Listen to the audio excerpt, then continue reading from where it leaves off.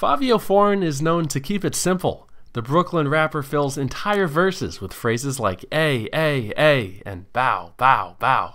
It's less about what he says and more about how he says it. But on the song called Hello Baby by Young M.A., Fivio does the absolute most with the least. He starts his verse by muttering four words, and then he takes a four second break before its next line. The moment of silence is longer than The Irishman. You gotta wonder if Fivio took a bathroom break mid session, and when he finally does come back, you wish he hadn't. The rapper brags about how his sticky male substances are finger licking good. It's the type of detail that belongs, well, covered up.